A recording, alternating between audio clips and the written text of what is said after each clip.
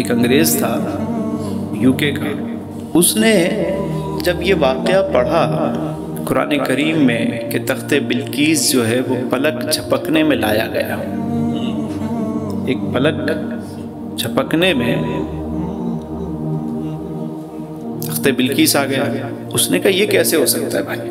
अगर by air लाएँगे तो इतना टाइम लगेगा बाई सी लाएँगे तो इतना टाइम लगेगा बाई रोड लेकर आएँगे तो इतना टाइम तो लगना ही चाहिए।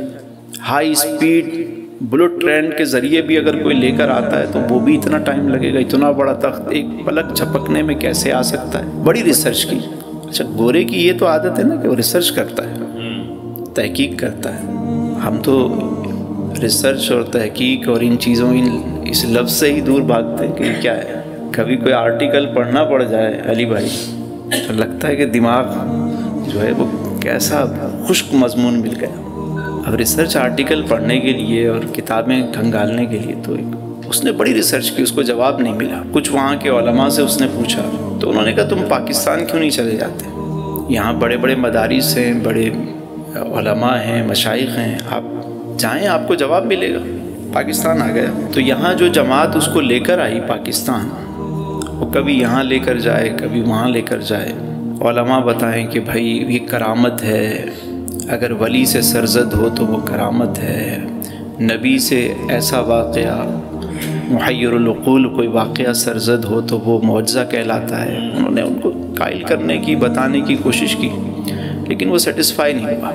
तो लाहौर में था तो उन्होंने कहा, भाई एक काम क्यों नहीं करते? चलो तुम आए हो पाकिस्तान तो तुम्हें लाहौर घुमा दें। चले जी।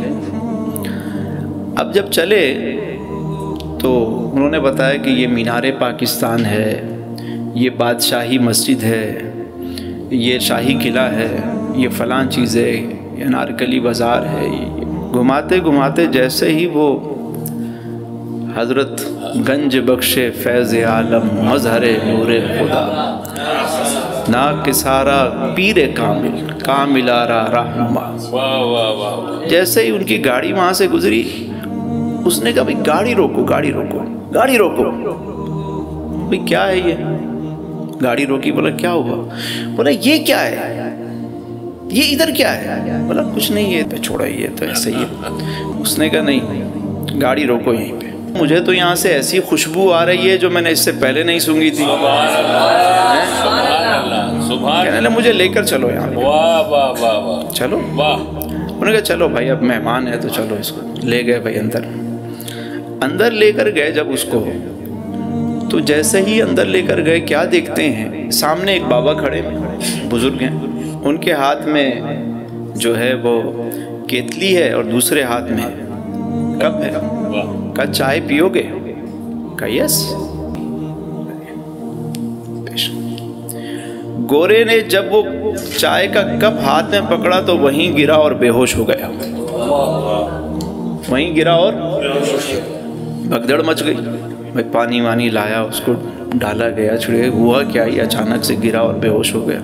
होश आया तो कहा वो बंदा कहाँ है? जिसने चाय सर्व की थी। बंदा देखा तो बंदा नहीं है कोई।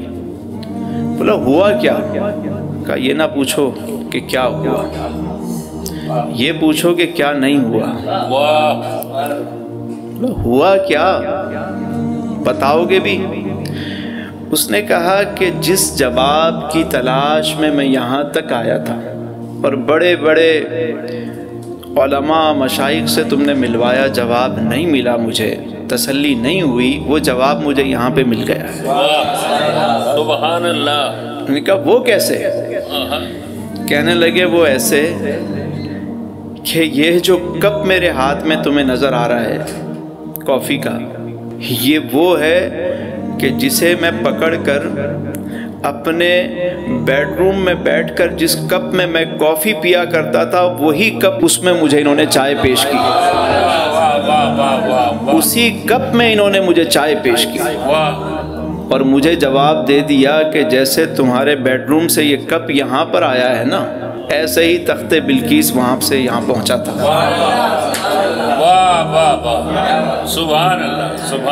अच्छा जब मैंने ये वाक़ सुना ना तो मैंने कहा, यार भाई हमारे यहाँ तो वैसे भी बड़े बड़े वाक़ात सुना दिए जाते हैं वाह वाह करने के लिए। मैंने कहा, यार, ये बात जो है ना, वो रिसर्च करनी चाहिए इस बात में। मैं जब लाहौर गया, दाता साहब के मज़ार पे तो वहाँ के जो खुदाम हैं मुतवली हैं, वो मेरे जानने वाले हैं, जावेद साहब। तो मैंने उनको फ़ोन किया, मैंने कहा, यार, मुझे मिलना है। आ जाए वेलकम मैंने कहा, इस तरह का कोई वाक़ हुआ था? कहने हाँ हुआ है। मैंने कहा, वो कह फिर उसके बाद वो शख्स उसने कहा, जिसको यूके जाना है, जाए, जिसको जहाँ जाना है, जाए, मुझे मेरा जवाब मिल गया। जिस जवाब के लिए वहाँ से यहाँ तक आया था, अब मैं ये दर छोड़ के कहीं नहीं जाऊँगा।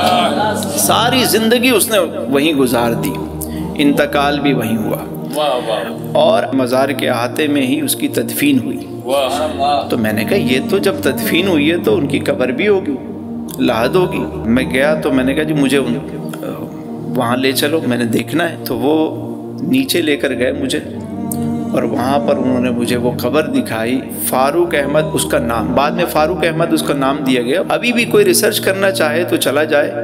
मज़ार के नीचे जहाँ लंगर खाना है उसके पास ही जाकर वो उनकी कब्र को और वहाँ पे पूरी डिटेल के साथ उनके बारे में जो है वो लिखा हुआ है। तो अब आप देखिए कि वही मज़ार है। हज़ारों लोग गुजरते हैं लेकिन खुशबू किसको आई? खुशबू किसको आई? बस ये याद रखिएगा जिसने आँख दी है ना नज़ारा भी उसी ने पैदा किया है। जिसने कान दिए हैं, नगमा भी उसी ने अता किया है। बस महसूस करने वाला हो। जब उधर दिल लगाएँगे तो हर चीज़ खुद बताएगी आपको। कट जाएँगे अयाम मेरी तिश्ना लबी के। मैं खाना सलामत रहे, बरसात भी होगी।